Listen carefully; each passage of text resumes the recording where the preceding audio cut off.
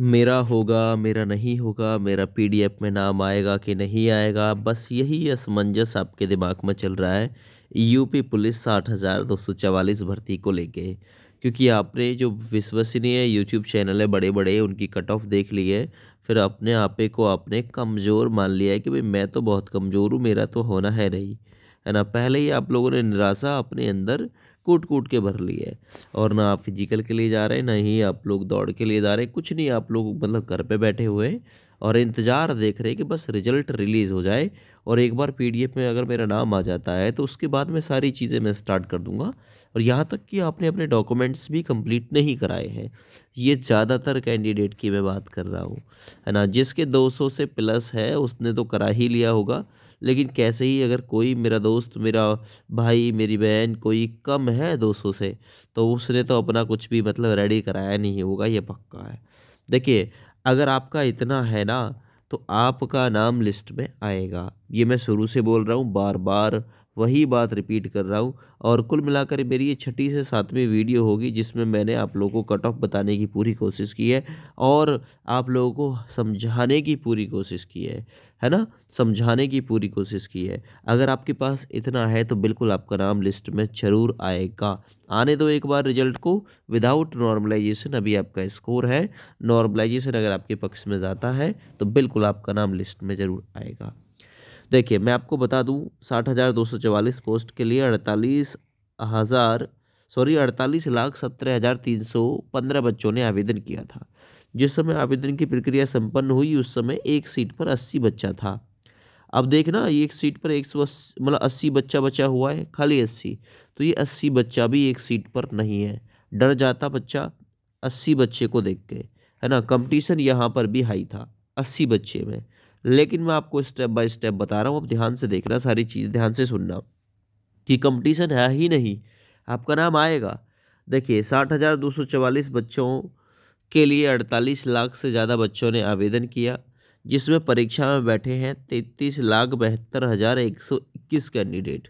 यानी एक सीट पर बच्चा बचा हुआ था छप्पन, और एक सीट पर छप्पन बच्चा भी नहीं है, क्योंकि पहले आपका फ़िज़िकल होना है, बाद में आपकी मतलब पीईटी e और मेडिकल वगैरह बाद में होना है।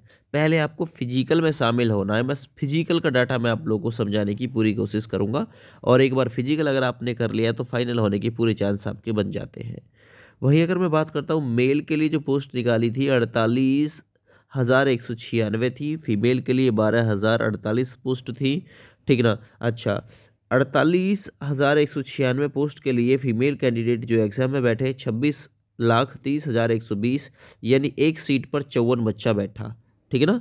यानी पहले ही लगभग पंद्रह लाख से कुछ कम बच्चों ने जो आपका पेपर है वो छोड़ दिया।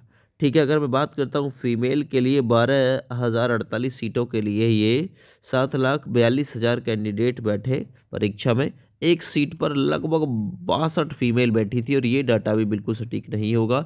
अस्सी बच्चे थे, शुरुआत में वो डाटा ठीक नहीं था और छप्पन बच्चे, परीक्षा में बचे ये डाटा ठीक नहीं है। फ़िज़िकल के लिए बता रहा हूँ मैं, चौवन बच्चे यहाँ मेल कैंडिडेट बचे, ये भी डाटा ठीक नहीं है और बासठ यहाँ फीमेल बची, ये भी डाटा ठीक नहीं है क्योंकि अभी तक ये आपको डरा देगा। अगर चौवन, बासठ और छप्पन आपके दिमाग में चल रहा हो तो। क्योंकि मैंने इस पर पूरी डिटेल से काम किया और आपको अच्छा लगे ना कि हाँ आपके भाई ने कुछ काम किया थोड़ा बहुत इसमें मेहनत की है तो चैनल को सब्सक्राइब कर लेना और वीडियो को लाइक, शेयर ज़रूर कर देना। देखिए, अब आप ध्यान से देखना, साठ हज़ार दो सौ चवालीस पोस्ट के लिए तीन गुने को बुलाया जाएगा, लगभग एक लाख अस्सी हज़ार सात सौ बत्तीस को बुलाया जाएगा। इसमें फीमेल हो सकता है, चार गुना भी बुला ली जाए, लेकिन मेल को तीन गुना ही रखा जाएगा।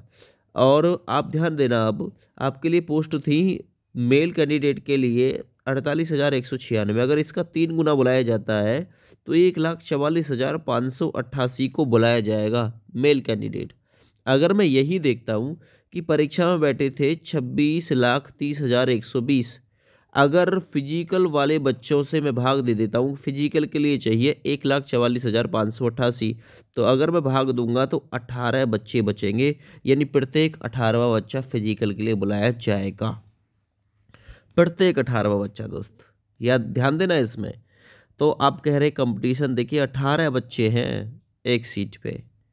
तो कंपटीशन में हमने जो बताई थी ना कट ऑफ़ वो कहीं ना कहीं सही जाने की पूरी पूरी उम्मीद रहेगी। देखिए, बारह हज़ार अड़तालीस के लिए फ़ीमेल बुलाई जानी है छत्तीस हज़ार एक सौ चवालीस। एग्ज़ाम में बैठी हैं सात लाख बयालीस हज़ार। अगर भाग देते तो एक सीट पे फीमेल बची हुई है बीस। यानी फ़िज़िकल के लिए एक सीट पर बीस फीमेल फाइट कर रही है। फ़िज़िकल में जिनका नाम आना है।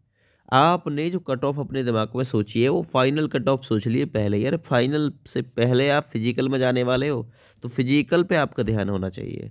पहले फ़िज़िकल में आओगे, फ़िज़िकल क्वालिफाई करोगे तो आपकी जो फाइनल स्टेज है, उसके रास्ते तभी तो खुलेंगे जब फ़िज़िकल क्वालिफाई हो जाएगा, या फिर डायरेक्ट आप फाइनल हो जाओगे। फाइनल की कट ऑफ़ आप अपने दिमाग में लगाए बैठे हो। एक सीट पर अठारह है यहाँ फाइट कर रहा है मेल कैंडिडेट और एक सीट पर बीस फीमेल फाइट कर रही है। फीमेल में थोड़ा दो दो का ज़्यादा कंपटीशन है।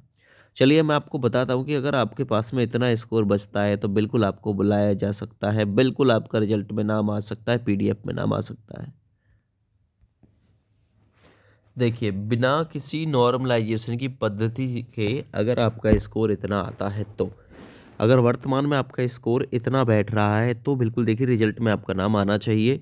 शत प्रतिशत गारंटी तो नहीं है भाई, सौ परसेंट आपका नाम आएगा ही आएगा, लेकिन जो पिछली भर्तियों का अध्ययन कर ये सारी चीज़ें तैयार की गई हैं, उसके आधार पर लग रहा है कि ये बिल्कुल आपका नाम इसमें आएगा। और मे भी हो सकता है इससे कम भी हो जाए, और मे भी हो सकता है एक आध क्वेश्चन इससे ऊपर भी हो जाए लगभग यही कि समथिंग में घूमनी चाहिए। जर्नल कैंडिडेट अगर आपके पास में पंचानवे क्वेश्चन है ना वर्तमान में तो आपके चांस हैं पूरे पूरे। ई डब्ल्यू एस कैंडिडेट अगर आपके पास में बानवे क्वेश्चन है तो चांस हैं। ओ बी सी के अगर मेल कैंडिडेट से बानवे क्वेश्चन बचे हुए ना काट पीट के तो चांस है पूरे। एस सी की मैं बात करता हूँ तो अगर पिचासी क्वेश्चन बचे हुए हैं एससी के पास में तो चांस है है ना? और वहीं अगर मैं एसटी की बात करता हूँ तो पिछहत्तर क्वेश्चन के आसपास अगर बचे हुए हैं एसटी कैंडिडेट वो भी मेल से तो आपके पूरे पूरे चांस है कि लिस्ट में आपका नाम आना चाहिए। लिस्ट में आपका नाम आना चाहिए, लेकिन वर्तमान में होने चाहिए कि अभी आप, कभी आप लोग सोच रहे हो कि भाई मेरे जो है नॉर्मलाइजेशन के बाद में इतने तो हो ही जाएँगे। नहीं जी, वो नहीं। बिल्कुल एक्यूरेट चाहिए कि इतने होने चाहिए आपके पास में, ठीक है ना? वहीं अगर मैं फ़ीमेल की बात करता हूँ तो अगर कोई जर्नल से फीमेल है, पचासी क्वेश्चन एक सौ सत्तर अंक होने चाहिए। ई डब्ल्यू एस और ओ बी सी इनके पास अगर बयासी बयासी क्वेश्चन बचे हुए हैं फीमेल के पास तो नंबर आना चाहिए। और मैं बात करता हूँ यहाँ एससी की तो पिछहत्तर क्वेश्चन एससी फीमेल के पास होने चाहिए, यानी डेढ़ सौ अंक, और एसटी फीमेल 140 और एक्स सर्विस मैन की बात करता हूँ तो 100 से 110 100 से 110 अंक आपके पास में, यानी 55 से 60 क्वेश्चन आपके पास में अगर हैं तो बिल्कुल आप लोग यहाँ फ़िज़िकल की तैयारी करिए, आपका नंबर जो है वो आ रहा है। अगर देखिए आपके पास में इतना बचा हुआ है ना तो आपका लिस्ट में नाम आना चाहिए, पूरी पूरी उम्मीद है आपका लिस्ट में नाम आने की। चाहे यूट्यूब पर किसी ने कट ऑफ़ कितनी भी दिखाई हो, कितनी भी नहीं दिखाई हो, पता नहीं, मैं नहीं कह सकता किसी के साथ में, लेकिन मैं इतना कह रहा हूँ, बिना नॉर्मलाइजेशन के साथ अगर आपका स्कोर इतना है तो नॉर्मलाइजेशन के दस अंक जोड़िए, पाँच अंक जोड़िए, फिर भी आपके अंक लगभग एक सौ नब्बे हैं तो दो सौ हो जाएँगे। अगर दस अंक भी जोड़ते हैं तो आप पाँच जोड़ते हैं तो एक सौ पचानवे हो जाएँगे और मे बी फ़िज़िकल के लिए कॉल आपका आ ही जाएगा दोस्त।